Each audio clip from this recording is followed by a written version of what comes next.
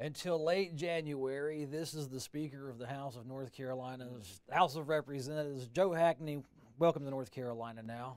Happy to be here. Is this a riding off into the sunset or is this a new adventure for you? It's a new adventure, new adventure, and uh, it'll be a new challenge, a different challenge.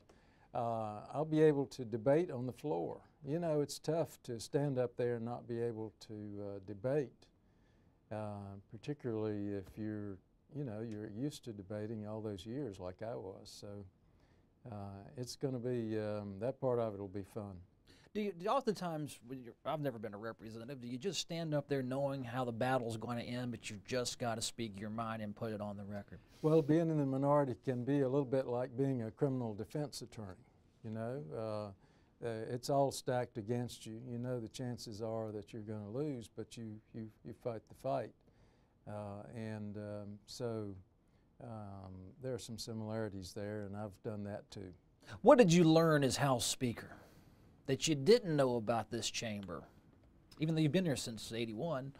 Well, um, being speaker is a is an, one of those experiences uh, that you cannot prepare for, frankly. Really?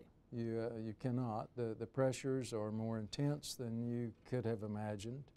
The demands on your time are more uh, intense than uh, you could have imagined uh, and the responsibility is greater than you could imagine. And so uh, it's uh, in, in uh, you become more of a manager also because the speaker of necessity has a pretty good sized staff. In addition to that, you're signing off on uh, pretty much everything that goes around, goes on down here in terms of employment and personnel and parking and all those sorts of things. Um, and um, you're getting notified of uh, anything critical, uh, any critical issue that's happening in state government. So um, it's a, um, a, a, very challenging and stimulating uh, position. Is that a 40-hour work week? Is it five days a week? Uh, what will Representative Thom Tillis be getting himself into in a tangible sense? I sent him a, a, a piece of I saw in one of the magazines the other day about uh, time to think, time to go off and be isolated and to think. And of course, that's what I use my farm uh, for. Uh, when I go down there, there's usually no one around but me and the cows. So um, um, anybody who's in that position, uh, whether you're a governor or leading the Senate or leading the House, uh, it's one of those positions where you need uh, time to think things through uh, not make snap decisions, not react too uh, quickly, moderate your public statements, uh, those sorts of things. What do you expect your relationship to be with incoming Speaker Tillis? I expect uh, to um, uh, advise him only when asked. Okay. Uh, I expect him to um, um, lead his side and on institutional matters which are important to all of us to, to be our advocate and our leader, and I'll help him do that.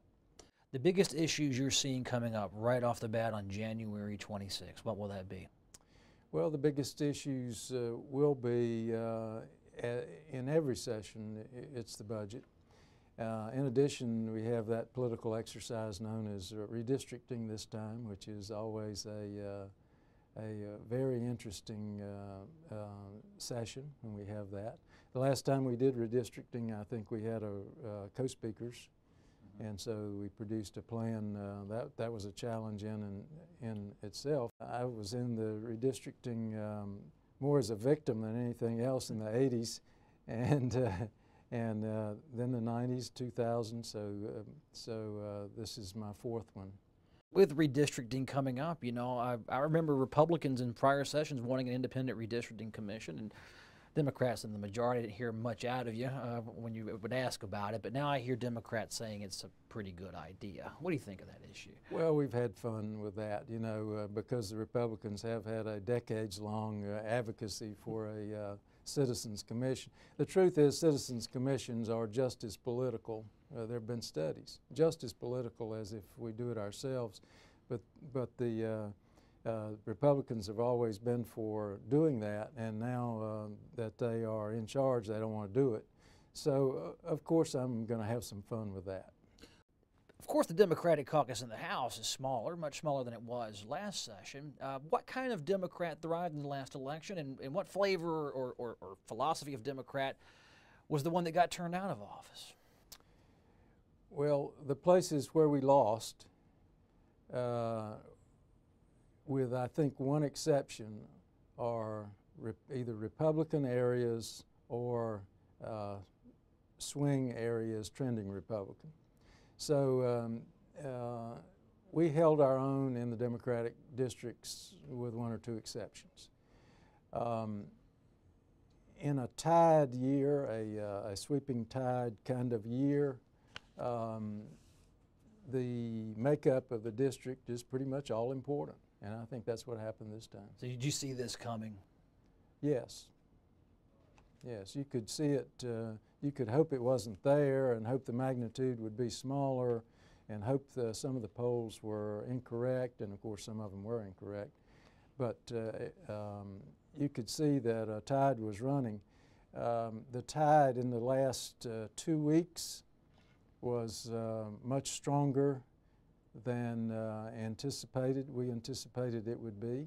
And of course you get that in a tide year. I remember when uh, Jimmy Carter was defeated um, for president, um, the tide turned the last three days, very much against him. The, the, maybe uh, it was uh, turning somewhat before that, but it really started to roll in the last uh, three, four days last week. And I think we, was, we saw that uh, as well. Next time we see you, you'll be House Minority Leader Joe Hackney. But as of now, Speaker, thanks for being on North Carolina Now. We'll be seeing you in the weeks and months to come. Look forward to seeing you again.